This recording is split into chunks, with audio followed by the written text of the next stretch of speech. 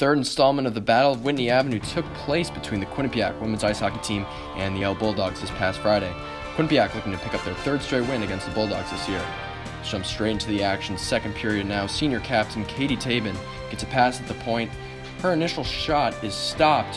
However, the puck is still loose and it bounces off forward. Sarah Ev Kutubagabu giving the Bobcats a 1 0 lead. The play was reviewed and it stood. Still in the second, Claire Dalton dangles around Katie Tabin and backhands a top shelf past Ives. A beautiful goal.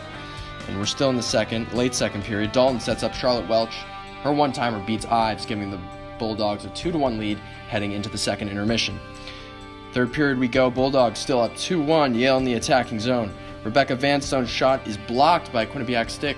However, the puck pops up and goes over the head of Abby Ives, giving the Bulldogs a 3 1 lead.